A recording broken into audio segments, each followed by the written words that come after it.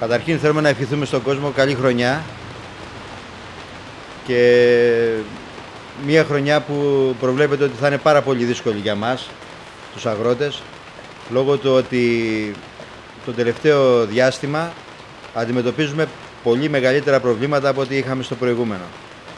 Ε, θα ξεκινήσουμε από το κόστος παραγωγής που είναι δυσβάστακτο. Δεν μπορούμε να καλλιεργήσουμε πλέον γιατί έχουμε τεράστια αύξηση στα αγροτικά εφόδια και στις, ε, στα αγροτικά εφόδια. Ε, στη συνέχεια έχουμε πολλά προβλήματα με τον ΕΛΓΑ. Έχουμε ένα δυσβάστατο κόστος παραγωγής όπως σας είπα και πριν και άλλα προβλήματα τεράστια που μας οδηγούν σε, μας οδηγούν σε κατάσταση να βγούμε στους δρόμους και να διεκδικήσουμε από κινητοποιήσεις που μπορούμε να κάνουμε, να διεκδικήσουμε πράγματα και να κερδίσουμε κάτι για να μπορέσουμε κι εμείς να, να φέρουμε ένα καλύτερο αποτέλεσμα στις οικογένειές μας.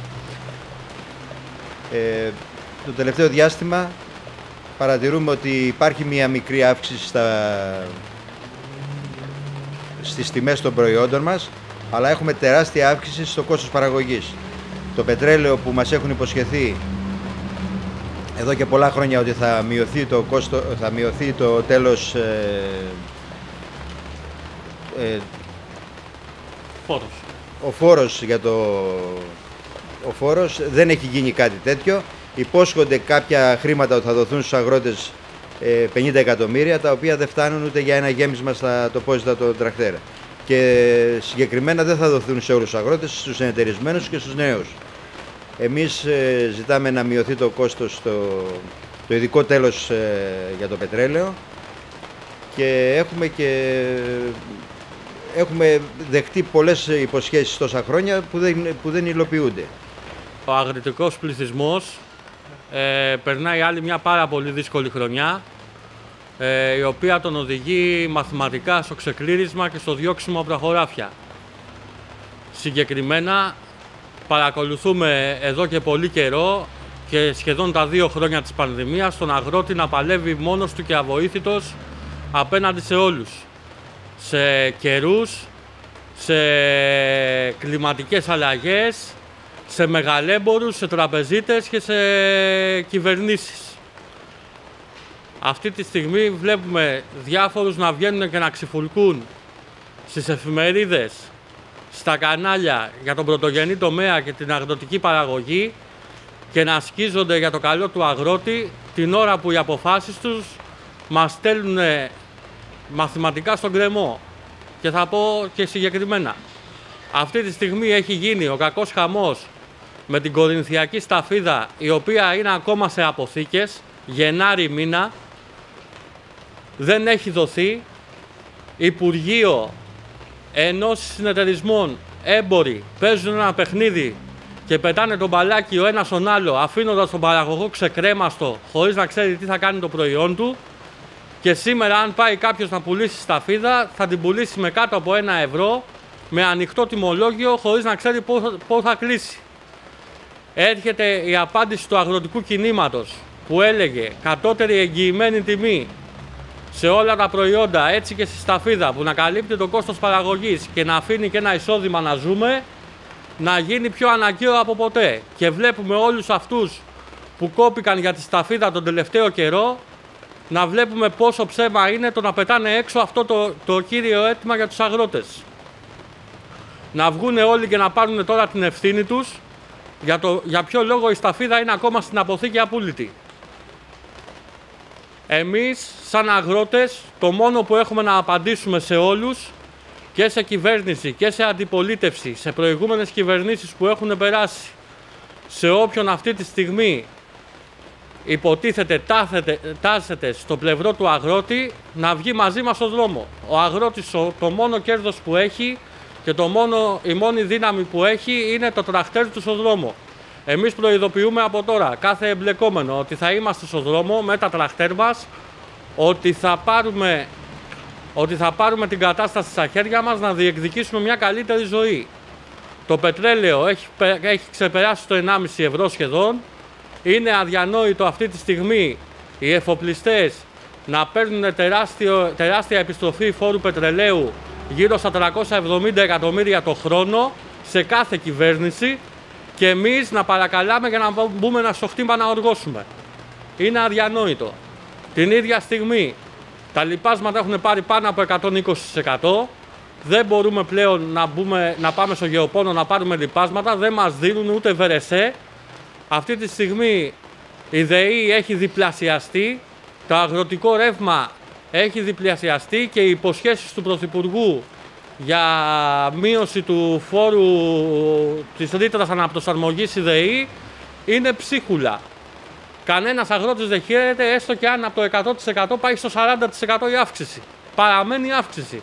Εμείς ζητάμε σε αντίθεση μείωση κιόλας του ρεύματος. Λέγαμε ότι ήδη πληρώναμε αρκετά και δεν μπορούσαμε να αποτίσουμε. Θα συνεχίσουμε δυναμικά. Καλούμε όλους τους αγρότες να συσπηρωθούν γύρω από τους αγροτικούς συλλόγους και να απαντήσουν στον δρόμο. Τα παιδιά εν μέρη με καλύψανε, ο πρόεδρος, ο γραμματέας. Θα μιλήσω ατομικά για την πατάτα, γιατί είμαι πατα... πατατοκτηνοτρόφος. Ακούτε. Εδώ η περιοχή μας έκανε 35 εκατομμύρια κιλά πατάτες. Συρρυκνώθηκε και έχουμε πάει στα 7-8 και φέτος θα πάμε στα 4. Βορβαδιζούμαστε από την Αίγυπτο. Μπαίνουν πατάκες ανεξέλεκτες και τις βαφτίζουν ελληνικές και τις βγάλουν στην ελληνική αγορά. Λοιπόν, από εκεί εμείς αυτούς τους ανθρώπους δεν μπορούμε να τις συναγωνίσουμε όταν από εκεί το λίπασμα έχει 5 ευρώ η σακούλα, όταν το μεροκάματο έχει 10 ευρώ, όταν το ρεύμα είναι κάτω, τα λιπάσματα κάτω, τα φυτοφάρμακα κάτω, οι σπόροι κάτω, οι εφορίες κάτω, το πετρέλαιο κάτω.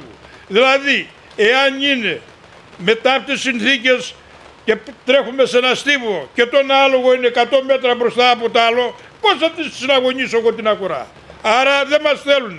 Αφού δεν μας θέλουν να, να φύγουμε. Αλλά τι έγινε τώρα, μας έχουν χρεοκοπήσει όμως. Η πορεία αυτή που έχουν ακολουθήσει και αυτή η κυβέρνηση και οι υπόλοιποι και οι παραπόλοιποι και οι παραπόλοιποι μας έχουν χρεοκοπήσει. Και είμαστε μπρος γκρεμός και πίσω ρέμα. Θα πάμε μπροστά, πέφτουμε στον κρεμό, όλο χρεοκοπάμε. Η Αγροτική Τράπεζα έκλεισε, δεν μας πιστώνει. Πιστονούμαστε από τους γεωπόνους. Όταν πιστώνουμε λοιπόν από τον γεωπόνο μου λέει θα φέρεις την πατάτα τόσο, από τους εμπόρους θα φέρεις την πατάτα με τόσο, με τόσο τιμή την τάδε ημερομηνία. Πάω να λογαριαστώ και κάνει να δίνω πολλές φορές. Πέρυσι ή πρόπερσι που βγήκαμε στον δρόμο έβγαλα από την τσέπη μου στην Καλαμάτα ένα τιμολόγιο και έγραφε 10 λεφτά πατάτες. Σας το έδειξα. Σας το έδειξα το τιμολόγιο. Λοιπόν, και απόξοδο το σούπερ μάρκετ πουλάγε 80 λεφτά πατάτες. 9 λεφτά πατάτες, 80 λεφτά το, το σούπερ μάρκετ. Είναι πέντε εταιρείες στην Ελλάδα και μας, κατα, μας κατακλέβουνε. Μας εκμεταλλευούμαστε. Δεν μπορούμε να κρατήσουμε τα παιδιά μας. 70 χρονών εγώ. Μου βγάλανε 375 ευρώ σύνταξη. Και έκανα 500 τόνου, 700 πατάτες. Όσο πιο πολλούς έκανες, τόσο πιο πολύ χρωστάω. Και δεν μπορώ να κάνω πίσω. Βγήκε ο κύριος Μητσοτάκης στο Ηράκλειο της Κρήτης, στο λιμάνι. Σας το έχω πει και σας το ξαναλέω. Και λέει τέρμα τα κρεμμύδια από την Τουρκία και πατάκες από την Αίγυπτο. Να κρατήσει το λόγο του να κρατήσει το λόγο του και αν θέλει να συναγωνιστούμε με τους Αιγύπτους ή με τους Ευρωπαίους έχουμε την ψυχή να αγωνιστούμε. Όμως ίσα στον υπόδρομο, όχι 50 μέτρα και ο άλλος 100 μπροστά. Θα μου κατεβάσεις το λίπασμα από στο Αίγυπτο, θα μου κατεβάσεις το φυτοφάρμακο, θα μου κατεβάσεις το πετρέλαιο και ας είναι Αιγύπτιος, ας είναι Ολλανδός, ας είναι Γερμανός, είμαι Έλληνας και θα τον συναγωνίσω. Θα του προσπεράσω τους μισθώνε. Αυτά έχω να σας πω. Όμως, όμως να μην τα καπελώνετε, να τα λέτε όπως είναι κι εσείς. Να σας δείξουμε τιμολόγια. Πάτε σε ένα σούπερ μάρκετ και δεν παίρνετε. Θα έρθω εγώ, θα υπογράψω. Δίνω 20 λεφτά και πουλάνε ένα ευρώ. Και το φτωχαδάκι δεν μπορεί να τη φάει. Και σου λέει ο αγρότης χονομάει και ο αγρότης είναι γρεκοπισμένος. Δεν πάει άλλο. Έχουμε πρόβλημα με τα παιδιά μας. Ερημώσαμε. 70 χρονών και φύτε πατάτες και άρμε εγώ πρόβατα. Δεν έρχεται το παιδί να κάνω τι μου λέει. Τι να κάνω; Όταν δεν έχουμε βάλουμε μια μπαταρία στο τρακτέρι. Με πήγε να βάλουμε τρία τρακτέρια. Φτάσαμε εκεί παιδιά στο απροχώρητο. και οι τοπικοί βουλευτές και οι δημάρχοι και οι νομάρχες να διαφερθούν γιατί θα μας βρουν μπροστά τους.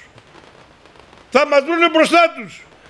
Δεν φαίνονται πουθενά. Εδώ έπρεπε να είναι ένας στο κανάλι να έρθει να μιλήσει. Υπάρχει πρόβλημα.